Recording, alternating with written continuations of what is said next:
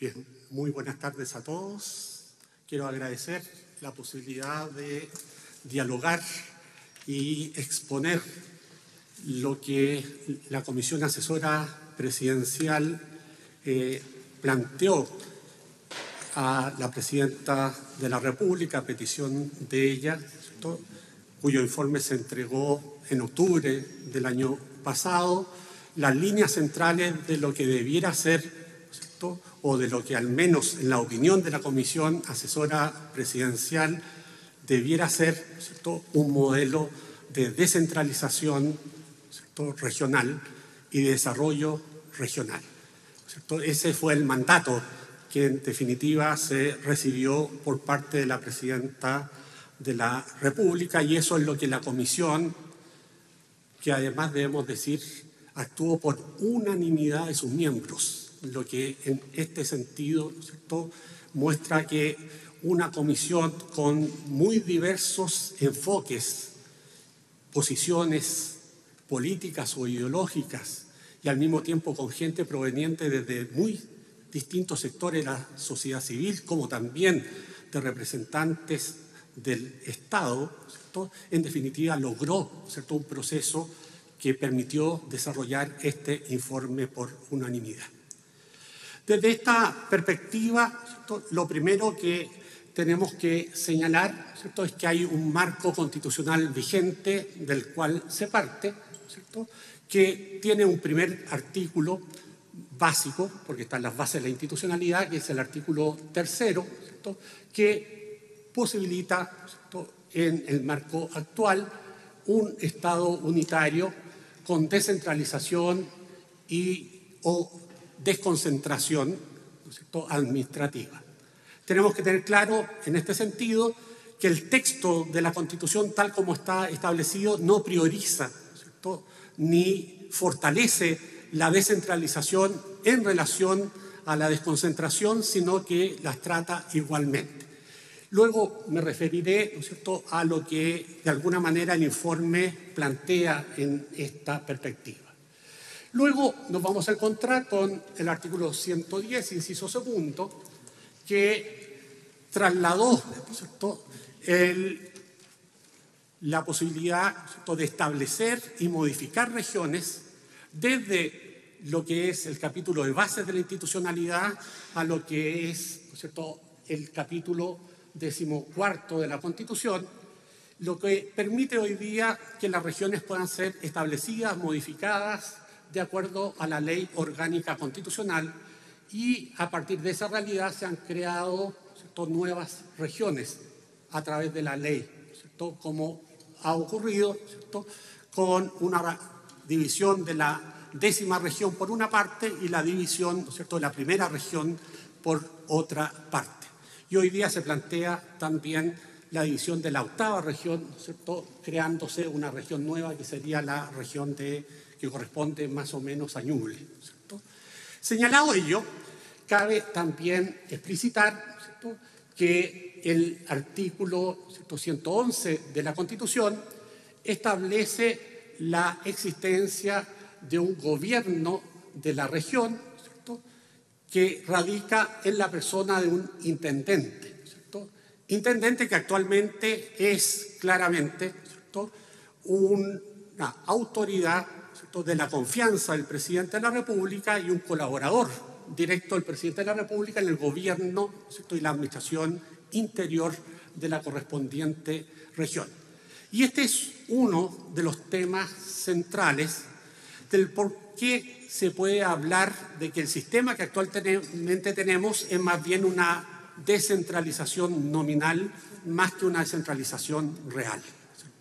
Y que hace de las regiones un objeto de desarrollo por parte del gobierno central y no permite que las regiones sean un sujeto de su propio desarrollo. En la medida en que la principal autoridad regional es una persona nombrada y de la confianza del gobierno central y no de la comunidad regional. Eso tenemos que tenerlo absolutamente claro y en eso la reforma del 2005, que es la última que se realizó, no quiso avanzar a convertir la región en un sujeto de su propio desarrollo, porque eso implicaba realmente generar un ejecutivo del gobierno regional que sea expresión auténtica de la voluntad popular de la respectiva región. Digamos al mismo tiempo que el artículo 112 se refiere también a esta situación y el artículo 113 nos determina el órgano que a su vez es el órgano colegiado, normativo, resolutivo y fiscalizador del, dentro del gobierno regional, que es el Consejo Regional, que originalmente ha sido nombrado por un sistema indirecto en que los concejales de la correspondiente región, reunidos en colegios provinciales, elegían a los consejeros regionales y que solo a partir del año 2009, a través de la reforma del 2009, se posibilita que ellos sean electos, cosa que se realizó bastante recientemente porque hubo que establecer una disposición transitoria de la Constitución para postergar esa elección. Y luego nos vamos a encontrar con el artículo 114 que regula las transferencias de competencias del gobierno central a los gobiernos regionales y el artículo 115 que en definitiva termina por referirse a los recursos del gobierno regional. Esa es la institucionalidad que tenemos hoy día. Por lo tanto, la institucionalidad que tenemos hoy día, y yo me voy a permitir dedicar por lo menos un minuto a este tema, no distingue lo que es el gobierno interior de lo que es el gobierno y la administración regional. Y aquí quiero hacer esa distinción porque es una distinción básica para poder comprender realmente lo que es la posibilidad de un Estado unitario con descentralización regional.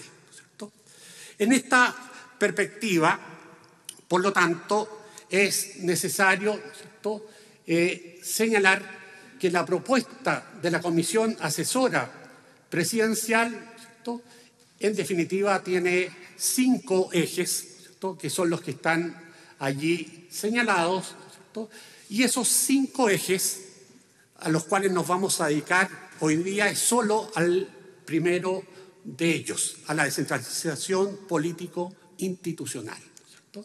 Señalado ello, nosotros ya hemos hecho el diagnóstico de una realidad de centralismo, lo cual prácticamente todos los expositores de la mañana la confirmaron, de la existencia de una sola descentralización nominal, por la razón que ya hemos señalado, y esa realidad constituye, a juicio de la Comisión, un obstáculo severo que asfixia y que impide el desarrollo político, económico, social y cultural de las regiones. Señalado ello, los objetivos centrales que tiene el trabajo de la Comisión es lograr un Chile con mayor desarrollo y oportunidades para todos sus habitantes, descentralizado y desarrollado en todo su territorio, con equidad social y territorial con sus regiones y comunas, asumidas como base del desarrollo nacional, social, territorialmente integrado, justo, inclusivo y digno. En este sentido, aquí hay un elemento importante en el informe de la Comisión. Para la Comisión, el ámbito territorial de descentralización es por una parte la región y por otra parte la comuna. Y la provincia queda como un ente fundamentalmente de desconcentración y de manejo por parte de una autoridad que proviene del gobierno central, que hoy día se denominan gobernadores provinciales y que en definitiva la Comisión considera que un mejor nombre sería el de delegados del gobierno central o del presidente de la República. Y este es otro elemento muy importante que en definitiva hay que producir una separación y una distinción clara, cosa que no está hecha en nuestro ordenamiento hasta el día de hoy, pese a que llevamos casi 25 años ¿no cierto? de proceso de centralización entre lo que es el gobierno regional y lo que es el gobierno interior de la región. Y yo creo que estos conceptos son básicos de entender. Cuando hablamos del gobierno interior de la región, estamos señalando que esa función en un Estado unitario no se descentraliza, no se descentraliza. Y eso lo ejerce el gobierno nacional, ¿cierto? Y sus representantes territoriales, que en este caso ¿cierto? estarían a nivel provincial, que serían los delegados presidenciales, ¿cierto? que manejarían lo que se refiere al gobierno interior en cada una de las provincias del país.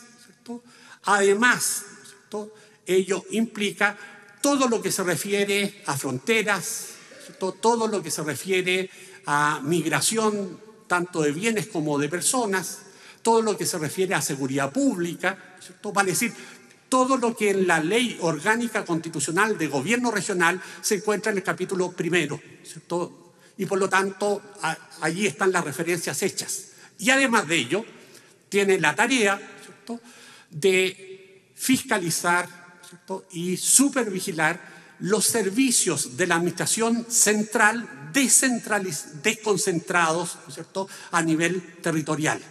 ¿cierto?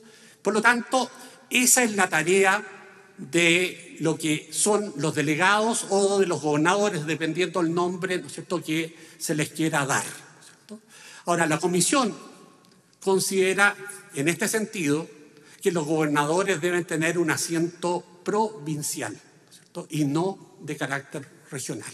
Y esa es una posición que hemos sostenido precisamente para afianzar el rol que le va a corresponder al Ejecutivo del Gobierno regional, que se denomina intendente. Hubiéramos preferido otro nombre, pero en definitiva es el nombre que se mantiene por el momento. ¿cierto? Y por lo tanto no hacemos cuestión del nombre, aunque el nombre intendente implica fundamentalmente un delegado del gobierno central, ¿cierto? Pero en esta nueva perspectiva pasa a ser el representante de la comunidad regional elegido por sufragio universal directo de la población regional. ¿cierto? En este sentido, por lo tanto, esa autoridad con la legitimidad democrática que tiene, le corresponde el gobierno de la región. Por lo tanto, asumir como jefe del gobierno regional. Ahora, cuando hablamos de que el intendente como ejecutivo del gobierno regional tiene la tarea de gobierno y administración regional, con la expresión gobierno no estamos significando el gobierno interior, que sabemos que sigue siendo una función centralizada en un Estado unitario. Estamos hablando de quien tiene la impulsión política de lo que son los programas que van a ser desarrollados y que van a permitir el desarrollo económico, social, cultural y político de la correspondiente región. Por lo tanto, la expresión gobierno aquí implica impulsión política, como lo hace el gobierno nacional, ¿cierto? en el plano nacional, le corresponde al intendente hacerlo en el plano regional. Y por eso nosotros también somos partidarios de no referirnos a las municipalidades simplemente como administración, sino también como gobierno y administración, en la medida en que ellos también tienen un impulso de desarrollar sus programas a nivel local, en lo que se refiere al ámbito de sus competencias. Y por lo tanto, con el respaldo de la comunidad y de la ciudadanía local. Por lo tanto, en este sentido, la expresión gobierno lo usamos en el sentido etimológico de dirigir, por lo tanto, de impulsar un proceso. Y además, la administración, obviamente, manejar los servicios y la institucionalidad que la región le corresponde y que a la municipalidad, en su caso, le corresponde. Señalado ello, el otro elemento es que la ciudadanía y la sociedad civil y sus organizaciones deben ser efectivos actores del desarrollo, comprometidos, organizados y empoderados para ejercer los derechos y asumir los deberes del desarrollo en el territorio que ellos viven. ¿Cuál es ese territorio? La región y la comuna. ¿cierto? Ese es el enfoque central ¿cierto? de lo que es la perspectiva ¿cierto? del gobierno eh, de la comisión en esta materia. Luego, iniciando el desarrollo del eje político institucional de la reforma, la comisión asesora considera imprescindible realizar, por lo tanto, reformas a la Carta Fundamental para precisar las reglas del juego en forma estable, con permanencia y con seguridad de su cumplimiento. Y desde esta perspectiva se plantea en primer lugar la necesidad de instituir fundamentalmente en el artículo tercero de la Constitución la primacía de la decisión de descentralizar por sobre la decisión de desconcentrar la administración estatal.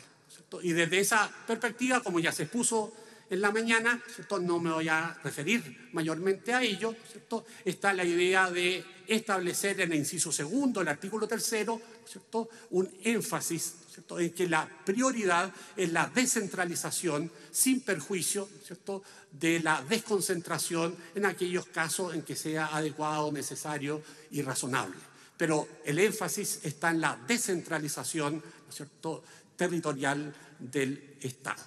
Y al mismo tiempo agregar un inciso tercero que en definitiva esté claramente potenciado, que se perdió de alguna manera con la reforma del 2005, y es de que las autoridades del Estado, todas ellas, deben promover el desarrollo descentralizado territorialmente del Estado.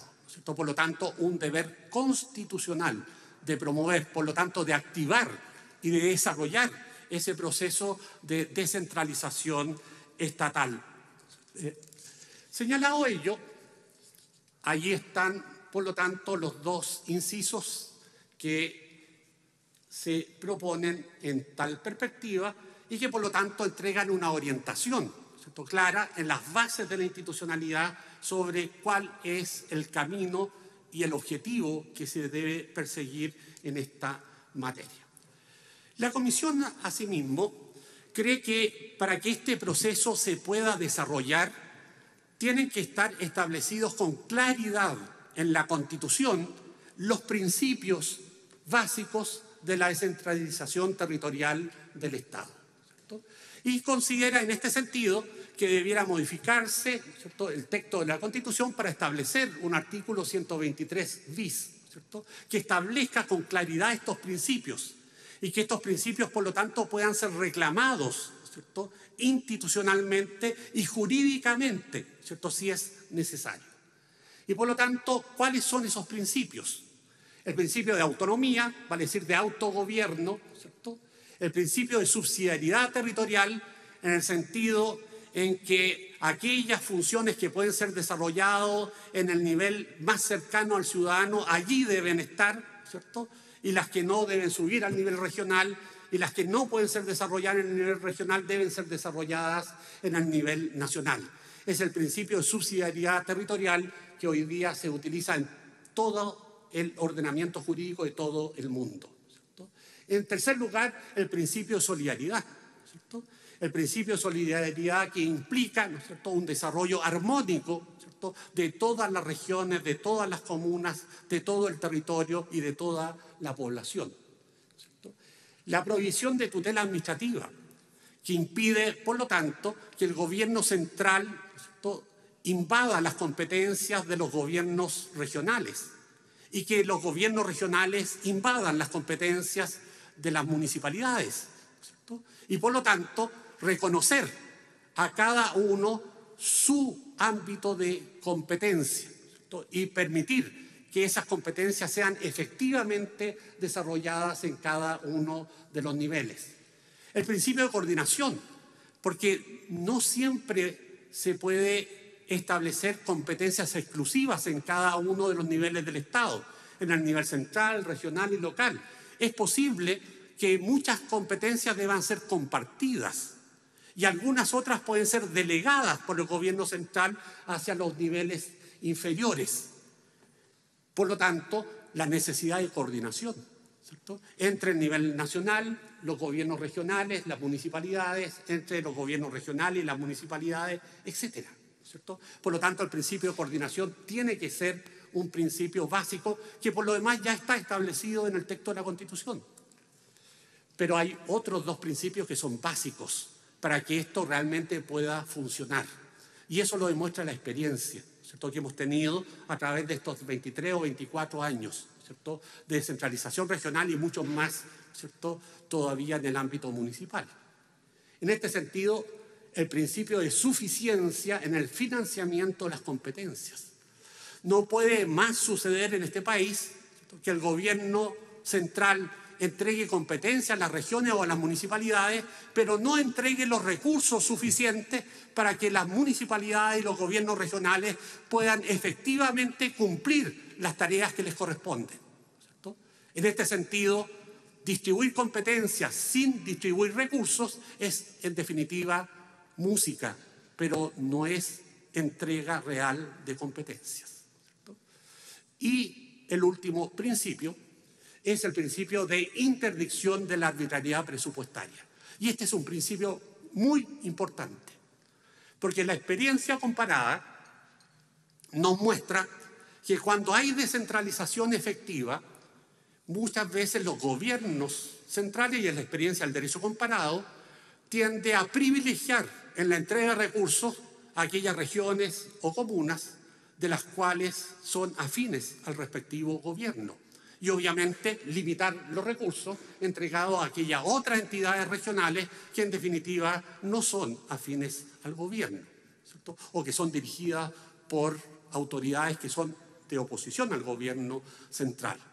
Desde esta perspectiva, la interdicción de la arbitrariedad presupuestaria exige establecer índices objetivos que obliguen, por lo tanto, al gobierno central a entregar los recursos de acuerdo a esos índices objetivos a todos los gobiernos regionales y a todas las unidades locales.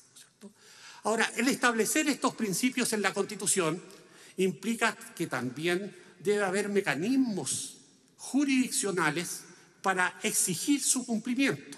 Y a esto nos vamos a referir un poco más adelante. Pero por el momento dejémoslo así establecido. Por lo tanto, estas no son solo principios, son reglas jurídicas de obligatorio cumplimiento por lo que son las autoridades del Estado. Y luego nos referimos a la elección, estructura y funciones del Ejecutivo del Gobierno regional.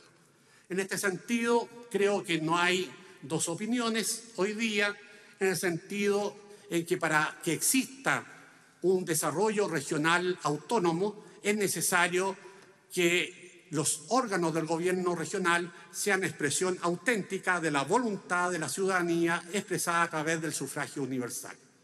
Y en este sentido, para concretar ese procedimiento y esa realidad, es necesario la elección directa por parte de la ciudadanía de quien es el ejecutivo del gobierno regional que es el intendente, separando claramente esa función de la de gobierno interior que también hoy día y hasta hoy ejecuta. Por lo tanto, separar gobierno regional de gobierno interior del Estado, que es una función central y desconcentrada en los gobernadores provinciales. Señalado ello, cabe preguntarse, ¿y por qué sistema electoral? Y obviamente el sistema electoral debe estar predeterminado también en la Constitución, ¿cierto? como ocurre con los consejeros regionales. Y en este sentido, ello es el sistema mayoritario uninominal a dos vueltas, lo que se denomina en la jerga técnico-jurídica como el balotaz, para decir la posibilidad de que haya una segunda votación si ninguno de los dos candidatos tiene mayoría absoluta y por lo tanto en esa segunda votación uno de los dos candidatos tiene esa mayoría absoluta porque los votos en blanco y los votos nulos no se contabilizan para efectos del respectivo escrutinio, como hoy día también ocurre con el presidente de la República en nuestro Estado. Y nosotros nos habíamos adelantado un elemento que hoy día parece que ya tiene consenso, y es de que las autoridades electas deben tener límites de periodos para su elección. En este sentido, los intendentes podrían tener solamente dos periodos consecutivos, estando por lo tanto prohibida la tercera reelección inmediata, que es la posición que nosotros ya asumimos con claridad y por unanimidad el año pasado. Señalado ello, y avanzando rápidamente, el intendente como autoridad ejecutiva estaría dotado de un gabinete regional integrado por secretarios regionales que, serían sus colaboradores directos e inmediatos en el gobierno y la administración regional, siendo nombrados por el intendente como cargo de exclusiva confianza y serían responsables de las diversas áreas, sectores o divisiones, como queramos denominarlas, ¿no de competencia del gobierno regional. Y al mismo tiempo está la idea de que los funcionarios de segundo nivel jerárquico, para decir los que puedan tener a cargo las direcciones de servicios administrativos del gobierno regional, debieran ser seleccionados mediante el sistema de alta dirección pública, para evitar que esos funcionarios que debieran ser funcionarios profesionales y técnicos, en definitiva, puedan ser nombrados de manera que no responda a la exigencia del cargo que ellos deben tener. El intendente, asimismo, como los miembros del Consejo Regional, dada la experiencia histórica que hemos tenido hasta ahora y entendiendo que estamos cambiando el modelo, es que ambos tanto el intendente como los miembros del Consejo tienen iniciativa para proponer acuerdos y reglamentos regionales. Hoy día los miembros de los consejos regionales están privados de iniciativa para poder desarrollar reglamentos regionales. El único que tiene iniciativa es el intendente en esta materia. A su vez, esto no implica desconocer que el intendente debe tener iniciativa exclusiva en materia de gasto público, de tributación regional, de endeudamiento y de creación de servicios o empleos públicos regionales. No estamos en este sentido actuando irresponsablemente. Estamos señalando con claridad una distribución en este sentido de iniciativa de acuerdo o de reglamento regional en esta materia. Al mismo tiempo, consideramos que deben haber mecanismos de fiscalización y control del Ejecutivo Regional por el Consejo Regional. Por lo tanto, el Consejo Regional debiera tener iniciativa a partir de a lo menos un quinto de sus miembros para requerir a la Contraloría General de la República para que realice investigaciones destinadas a incluir sumarios correspondientes y establecer responsabilidades administrativas correspondientes cuando los integrantes del Ejecutivo del Gobierno Regional cometan situaciones anómalas o antijurídicas. Agreguemos al mismo tiempo que en este esquema el Consejo Regional también tendría tres funciones o tres atribuciones adicionales. Citar a informar personalmente a los secretarios regionales y directores de servicios con un máximo de una vez cada dos meses sobre materias propias de su gestión, podrían censurar a un secretario regional anualmente con el voto conforme de tres quintos los miembros en ejercicio del respectivo consejo, debiendo el Ejecutivo reemplazarlo y no pudiendo nombrarlo en otro cargo de exclusiva confianza. Y tercero, podrá, con acuerdo de tres quintos los miembros en ejercicio, determinar la realización de un referéndum revocatorio en intendente por una sola vez en el periodo respectivo, cuando este intendente de alguna manera actúe más allá del ámbito de lo que sus competencias determinan, lo que implica una reforma al artículo 113 de la Constitución Política de la República. A su vez, una norma constitucional debiera habilitar al legislador para establecer las reglas sobre causales de cesación del intendente en su cargo, como asimismo las causales de inhabilidad, incompatibilidad, incapacidad, de la misma manera como ello está establecido actualmente en el artículo 113 para lo que son los consejeros regionales. Si obviamente están establecidas en la Constitución las bases para las cuales la ley debe implementar estas causales, lo mismo debieran estar en el caso del intendente, donde hay la misma razón, debe haber la misma norma. Agreguemos al mismo tiempo que otra idea fuerza es que las elecciones regionales y municipales deben estar claramente diferenciadas de las elecciones nacionales. La idea es que efectivamente la ciudadanía pueda reflexionar y expresar su voluntad sobre programas de gobierno regional y de gobierno local. Y ello obviamente no lo puede hacer con claridad cuando se confunden las elecciones nacionales con las elecciones locales, ya que las elecciones nacionales ¿no copan el panorama e impiden que se discutan y analicen los problemas regionales y locales. Y al mismo tiempo está también planteada las elecciones primarias para candidatos a cargo de elección, de, elección tanto regional como local. Y estas primarias las entendemos como obligatorias y abiertas, de manera de que la ciudadanía pueda involucrarse realmente en determinar quiénes son los candidatos que van a participar en la elección a través del sufragio universal. Y al mismo tiempo el establecimiento de límites de reelecciones. Ya hemos dicho que los intendentes, pero no solo los intendentes, sino también los alcaldes, puedan ser objeto solo de una reelección inmediata. Y a su vez, los consejeros regionales y los concejales regionales puedan ser solamente elegidos en términos de dos reelecciones inmediatas y por lo tanto impedir la tercera reelección inmediata. Agreguemos al mismo tiempo, en este sentido, la posibilidad de un referéndum arrogatorio de iniciativa ciudadana respecto de normas regionales y la creación y modificación de regiones también debieran establecerse con la participación institucional de las regiones y de la ciudadanía concernida en la materia. Y en materia de competencias, claramente somos partidarios de que ya ha transcurrido 25 años prácticamente de la instalación de los gobiernos regionales, debiera establecerse y consolidarse un ámbito de competencias exclusivas de los gobiernos regionales. Y en tal sentido, consideramos que ellas debieran estar claramente en el texto de la Constitución.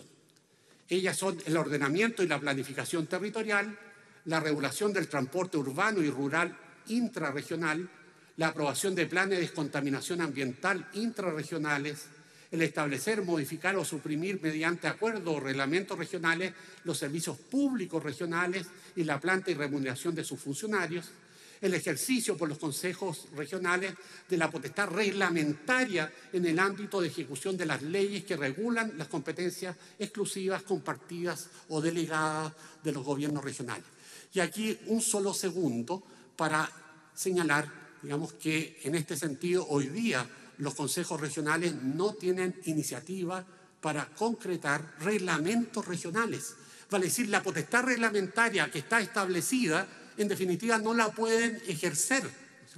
Por lo tanto, es necesario que la Constitución establezca con claridad esa competencia reglamentaria para que pueda ser ejercida tanto por el intendente como por los consejos regionales como órganos del gobierno regional. Agreguemos en este sentido la posibilidad de que tengan también los gobiernos regionales la posibilidad de establecer la denominación de la autoridad que desarrolla la función ejecutiva del gobierno regional. ¿Por qué vamos a obligar a que las regiones nombren o consideren siempre que la autoridad debe ser el nombre juris intendente?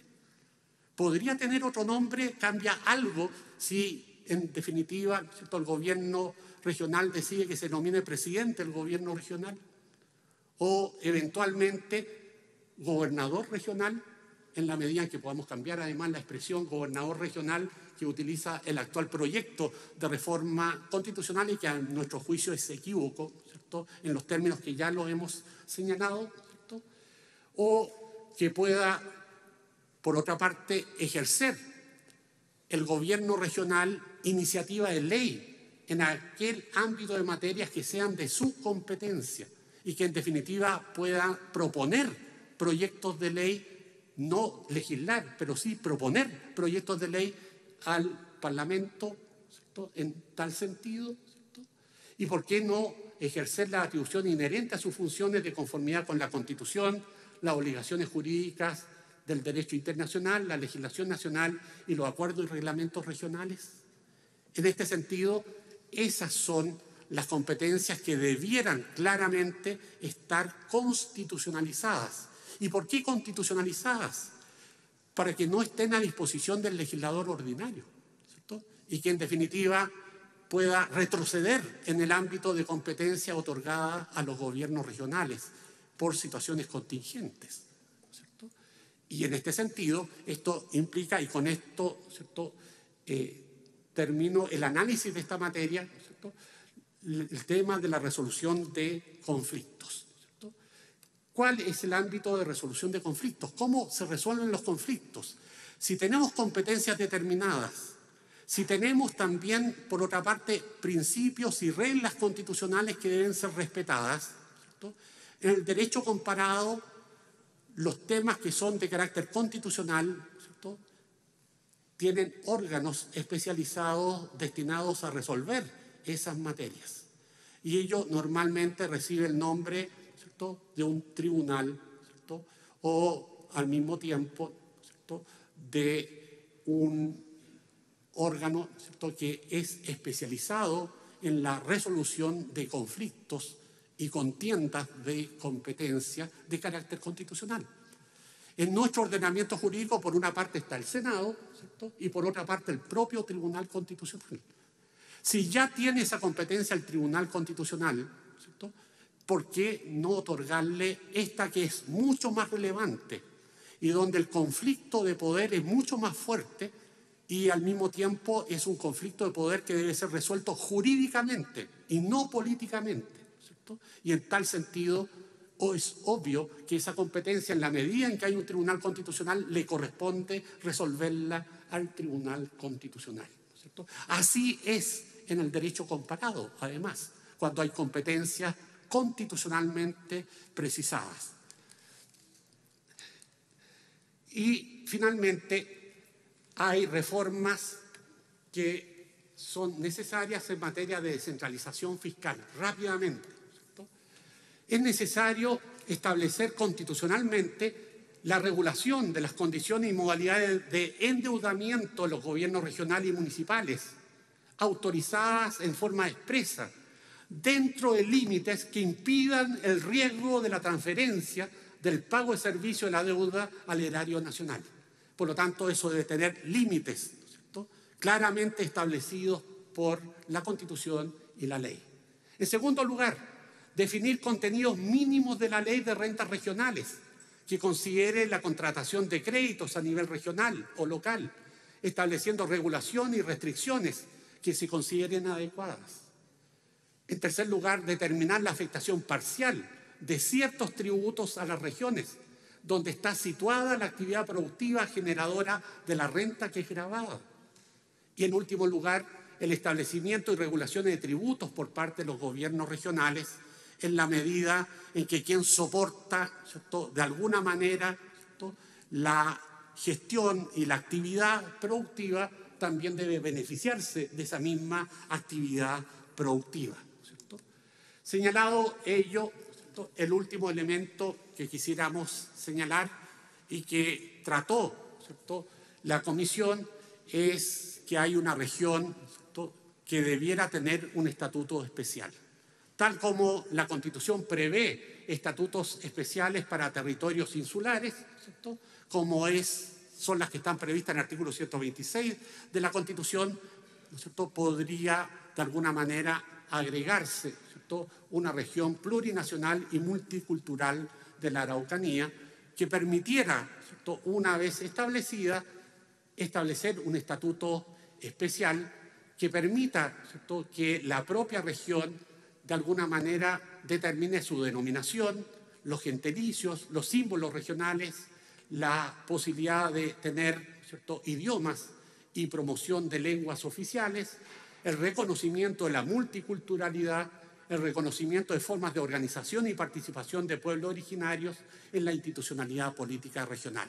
Esta es, por lo tanto, un elemento nuevo, que en definitiva sugiere la Comisión para ser trabajado cuando hay una región como la región de la Araucanía.